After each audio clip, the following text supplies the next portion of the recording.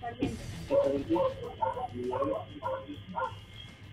Fría no, es lo único que me queda. Dile a. No, no, no, por favor. No, no, no, no, porque tengo... Por favor, por favor. No, no, no, no, no, no, no, no, por favor, no me dejes. ¡Andate! ¡Andate! ¡Andate! ¡Andate! ¡Andate! ¡Ayuda!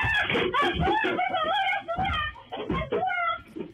¡Ayuda! ¡Ayuda! Así lo termina echando del local al delincuente esta persona que atiende un almacén, un mercadito de barrio en Neuquén y que suele ser ese tipo de comercio bastante buscado, sobre todo a la tardecita, un horario crítico por los delincuentes. En este caso era un ladrón que actuaba solitario, entró él solo, por lo menos es lo que se ve en la imagen, simulando ser cliente, la típica.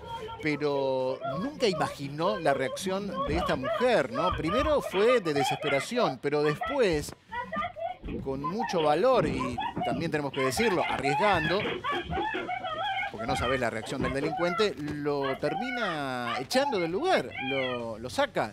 Lo saca y el ladrón se tiene que ir, se va corriendo de allí. Después pidió auxilio, después por supuesto un vecino llamó al 911, pero al ladrón ya lo había echado.